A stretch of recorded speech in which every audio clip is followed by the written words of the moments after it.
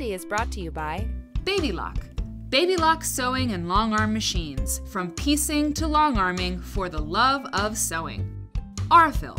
Aurifil Italian thread, perfectly suited for all your quilting projects.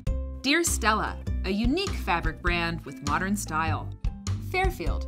Together, we can make beautiful things. Havel's Sewing. Cut to the point with Havel's Sewing. Moda.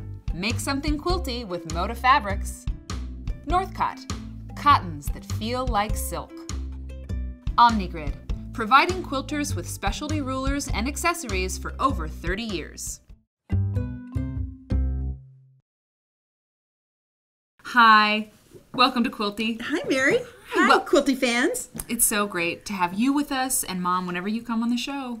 It's like birthday. It's great. It's like uh, it's like family. It's like family, which is, you know, weird and fun. Yeah, right? I think so. so we are going to do a Blocks of Go-Go show. Uh, Garden Chevrons is a quilt that is from the Fons and Porter, from the from the archives, from the catalog, and sometimes in Quilty Magazine we'll run one of these. You know, we, we do 400 quilts a year. Do you really, wow. Yes. through the magazine office?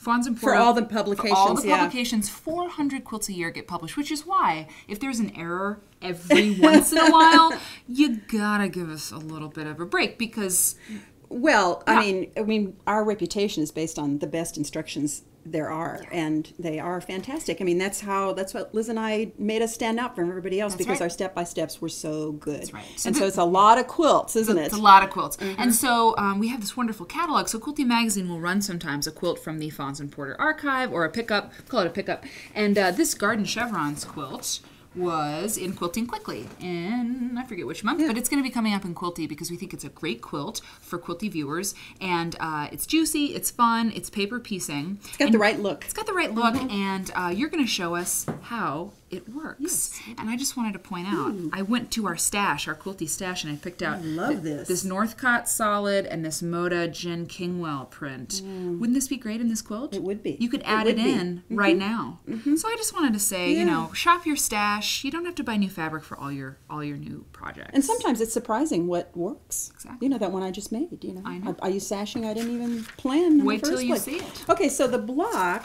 Well, you. I mean, who's who's talking? You well, and me. Let's just. This is the block. it's it's it's not square. That's for one thing. It's a hexie. It's a hexie. It's a hexie. And it's paper pieced. Here's the stuff. Mm-hmm. And so you know when you look at this, you can see like all paper piece patterns. It's numbered. Mm-hmm. Pieces are added in order.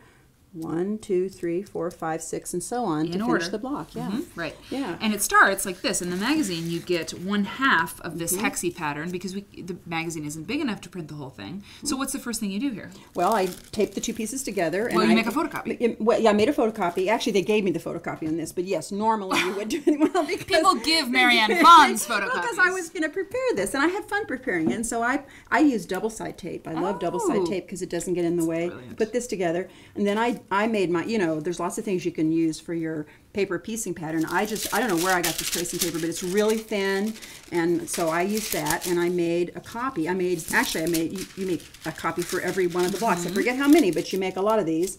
Some people photocopy them, but um, Yeah. I just, uh, yeah. So we should turn this. Let's turn this this way so Oh, yeah. everybody sees.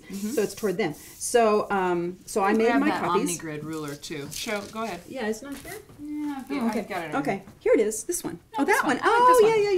yeah, yeah. OmniGrid okay. makes a really great. This is a great ruler for this. Yeah, and because really, it's a good point you make, Mary. Because a lot of times you don't want uh, a thick ruler, you know, a big unwieldy ruler to, Right. to do this finer work. So Yeah, I made need- those. You need to see where you are. And also, in our magazines, we always tell you what size to cut these pieces so that you don't waste too much fabric. And so you kind of st- start out with the right size piece, although they are bigger than you actually need. Right. And of course, um, what we do to start this, start with is we're going to do this. We, you always sew on the side that's right side up to you. And Mm-hmm. and I want to stop and say that my tip for beginner paper piecers is if you are having a hard time seeing where you need to sew, you've got it flipped wrong. Mm-hmm. It should be totally clear to you. The numbers and the lines should be totally clear. Mm-hmm. You should not have to like, is that am I right sewing? The fabric is backstage. Fabric's backstage. Mm-hmm. You're building the block from the back. So that's your tip. Okay, so this I use this little glue stick to help me with my first pieces, and I put a little dab there, and I took the number one piece and put it on here, Okay. So the first piece of your paper piecing goes right side up. Right, right side up. And then, and I got to do this facing toward me, but but I'm going to put a fold between the lines between number one and number 2 and then I'm going to take the bigger ruler and your rotary cutter, and I'm going to trim off a quarter inch away from this uh, fold on that side. Because otherwise, you need to close your rotary cutter, Uh, woman. well, I know, I know. You know, I, that's terrible. I don't do that that way because I'm going to cut, turn this over here, and I'm going to fold the other side and do the same thing. And this technique she's doing, you would do every time you add a piece. You, okay, you don't have to, but it reduces bulk. It keeps things out of your way. Once you put on a piece, fold back the line and trim it, just It like makes that. it makes a neater product. It does. And Show so, us just yeah. the one. What would come next? what would come next. one more here, and is then that we'll I would I would put my piece that is numbered number Mm-hmm. two, and I would turn it over, sew on that line. Let me Give me that. I'm gonna sew that. Okay. Okay. I will. 'Cause I want to show the awesomeness of the Baby Lock sewing machine. Well, sewing with the this. thread cutter, With it's the just thread cutter, and Let me get a I want to talk about how when you're doing paper piecing, it's a good idea to shorten your stitch length just a little bit because with the tracing paper it doesn't matter too much. But if you're going through regular paper, which sometimes is all you have, Right. you want to really perforate the paper because you're going to tear the paper off. So if you shorten your stitch to like a 2.0 or a 1.8, that's better. Okay, there you're going to sew between the The one and the two. right. Great. Put it down here. And what's great, yeah, the thread cutter is really great. I've shortened my stitch length a little bit. Right. If you like paper piecing or want to do paper piecing, having a machine with a thread cutter like this Melody is Yes. fabulous. And I love paper piecing, and you don't.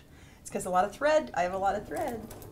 You have a, wait, a lot of thread. Well, yeah, yeah. I, I think you know. I think the reason is um, that I didn't start out doing it. I started out doing something else.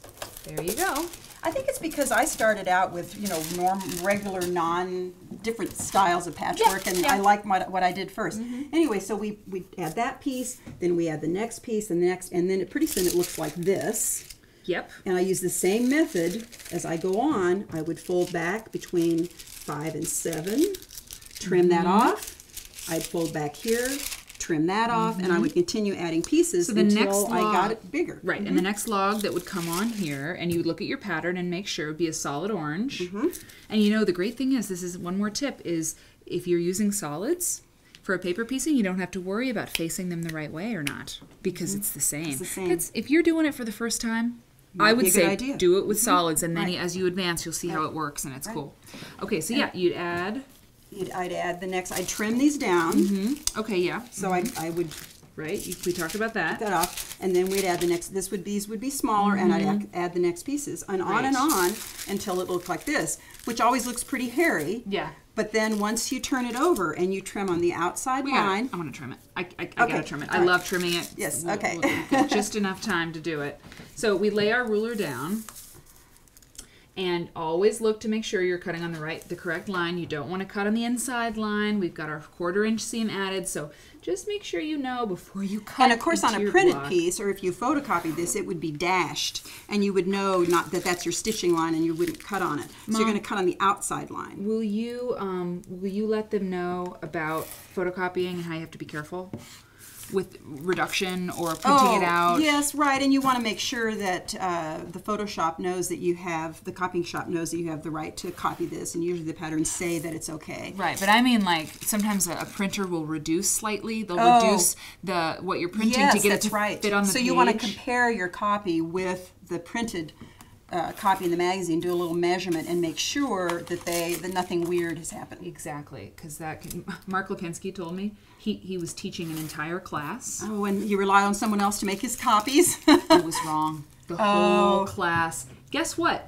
They weren't that nice about it. hard to outlive that. Yeah. See, look at look at that. Now it looks great. really And so we have two blocks for garden chevrons. So beautiful, Mom. Thanks so much for coming on the Well, show. it was a blast. Do some blocks, paper piecing. Don't be scared. Give it a shot.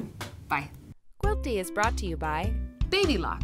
Baby Lock sewing and long arm machines. From piecing to long arming for the love of sewing. Aurifil. Aurifil Italian thread. Perfectly suited for all your quilting projects. Dear Stella. A unique fabric brand with modern style. Fairfield. Together, we can make beautiful things. Havel's Sewing. Cut to the point with Havel's Sewing. Moda. Make something quilty with Moda fabrics. Northcott. Cottons that feel like silk. Omnigrid. Providing quilters with specialty rulers and accessories for over 30 years.